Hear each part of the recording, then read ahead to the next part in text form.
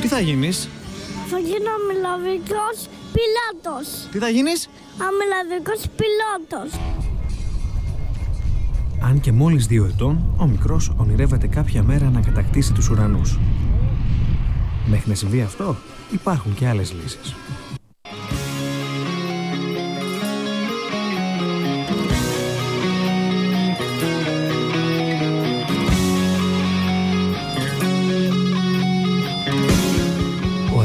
Αερομοντελισμός μετρά στη χώρα μας πολλούς φανατικούς οπαδούς που δηλώνουν ενθουσιασμένοι με το αγώνισμα. Η αίσθηση είναι κάτι το τρομερό. Δηλαδή, ειδικά σε ελικόπτερα, βενζινοκίνητα που ακούς το θόρυβο κτλ. είναι καταπληκτικό. Ε, συνήθως τρέμουν τα χέρια σου. Στην Ελλάδα ξεκίνησε την πορεία του πριν από περίπου 60 χρόνια. Όμως την τελευταία 20 ετία έχει πραγματικά κερδίσει πολλούς φίλους. Δεκάδες όμιλοι, λέσχες και μοντελοδρόμια έχουν δημιουργηθεί σε πολλά σημεία της χώρας. Τα χρόνια που ξεκίνησα εγώ δεν υπήρχαν κατευθύνσεις. Τα μοντέλα ήταν ε, με δύο σειρματόσκηνα, πετάγαν γύρω από εμάς, control line όπως τα λέγαμε τότε.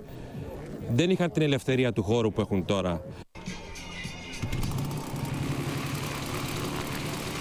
Για πολλούς από εμάς, ο αερομοντελισμός θεωρείται ένα πολύ ακριβό σπορ. Όμως τα πράγματα δεν είναι ακριβώς έτσι. Ένα φτηνό ελικόπτερο ή αεροπλάνο κείμενεται, αρχίζει μάλλον από τα 100 ευρώ, 120 ευρώ και μπορεί να ανέλθει σε αστρονομικά ποσά. 30.000, 50.000.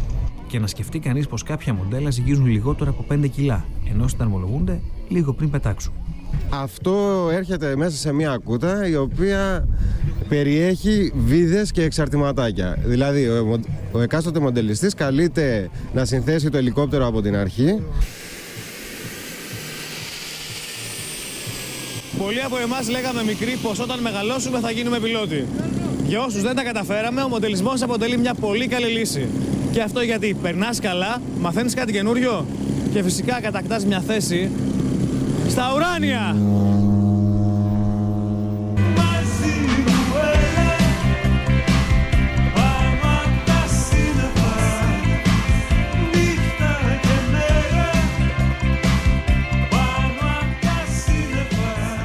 Οι συναντήσεις των αερομοντελιστών, όπως αυτή που πραγματοποιήθηκε φέτος τα Χριστούγεννα στα Μέγαρα, αποτελούν μια πρώτη τάξη ευκαιρία για ταξίδια και νέες γνωριμίες.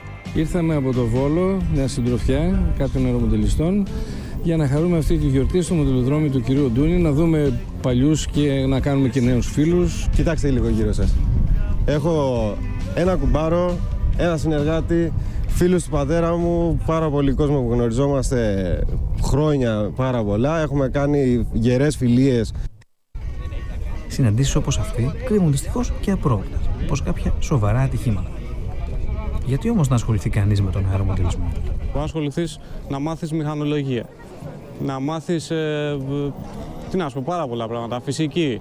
Ε, να ασχοληθείς με τα μοτεράκια. Να ασχοληθείς με την κατασκευή του μοντέλου. Πράγματα ωραία που αυτή τη στιγμή έχουμε κολλήσει όλοι στο κομπιούτερ και δεν κάνουμε τίποτα άλλο.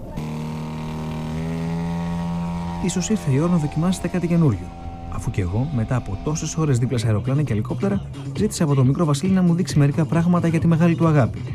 Μόνο που ο Βασίλης και το αεροπλάνο του τράβηξε και την προσοχή μιας πιο μικρής αγάπης.